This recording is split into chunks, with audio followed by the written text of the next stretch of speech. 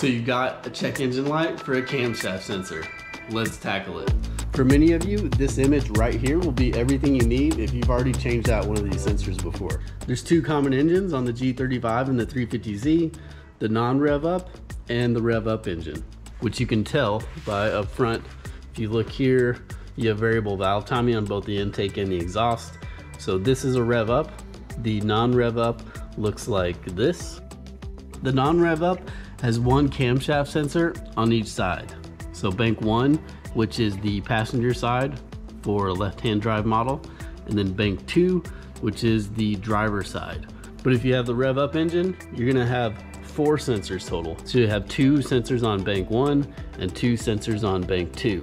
But all I need to do is reference this image here for the check engine light I have, and then swap out that sensor. And there's two types of sensors. So there's an angled one and a straight one. So if you look at the image, you'll know which one goes where and which one pertains to which engine code.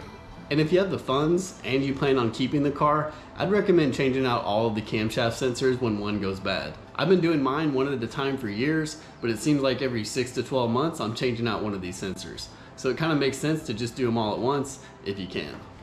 All of the sensors are on the back of the head for the camshaft. There is a crankshaft sensor also, but you have to access that from down below which there's plenty of videos on that one. It's just a single sensor to replace. The forums will always say to only use OEM sensors or else your car will literally explode. At least that's what it sounds like. I've been using the Duralast sensor from AutoZone for years for a couple of these, and they've been holding up great. And plus with the Duralast ones, I think you get a lifetime warranty. So if it acts up again, you can just go swap in and get a new one. But this time they had it in stock, and I feel like inspiring the next, whatever that means, uh, so I got the Hitachi brand, but be careful. Warning, cancer. No description, just cancer in a box. My code is a P0345, so that's bank two, and that's the angled sensor back here. And I really didn't need to take the intake off, but it helped me get the light over there, which helped a little bit so I could see what I was doing. And obviously you wanna be working with a cool engine. All right, so we're going in behind the engine on the passenger side. You'll see the green sensor, which is the straight one, and then I will put an arrow on the angled one that we need to take out. So I'll probably work from this passenger side to get that one out. Unfortunately, I can't show much back here while I'm doing this, but a lot of this is by feel. There's a green tab that you push forward on the clip, and then there's a 10 millimeter bolt holding the sensor into the engine. So I can see when I put the new one in, it's gonna go in like this, and I know the connector's up top, and the bolt is over here towards the driver's side. So that's where I'm trying to loosen. So just feel around to get the 10 millimeter started.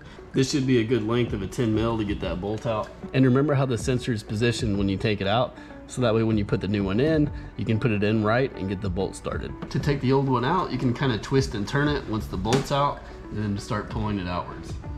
Then you want to push the new sensor in until it pops and you can put a little oil on that rubber o-ring to help it slide in. I'm doing this mostly by feel, so with one hand I'm finding the spot, and then with the second hand I'm gonna hand the part over so I know exactly where it goes. And then to find where the bolt goes, I'm rotating the sensor a little bit while I'm holding the bolt and trying to hand thread it. Once it gets started, it should be pretty easy. I'll do it hand tight and then a little bit of torque with the wrench.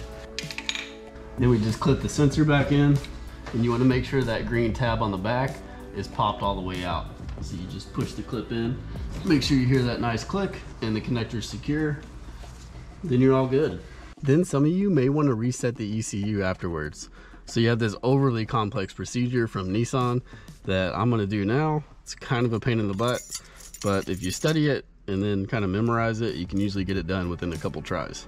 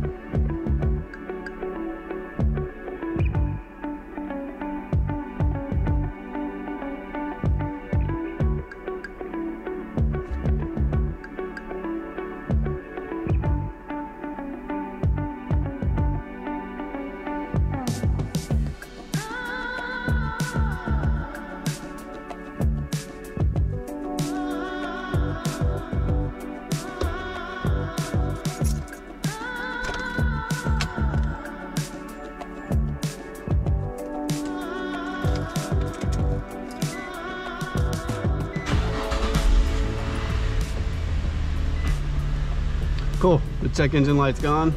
We did it. Now just keep driving the car normally and then see if the check engine light stays off. Hopefully it does and that does the trick. If not, maybe it's another camshaft sensor or another problem. And thanks to the forums for giving that awesome picture on describing which code goes to which sensor. But thanks for watching y'all. I'll leave some links in the descriptions for the forums that talk about some of these steps in more detail and have those images as well. So make sure to give this video a thumbs up and subscribe for more awesome car content. Thanks again for watching. Bye y'all.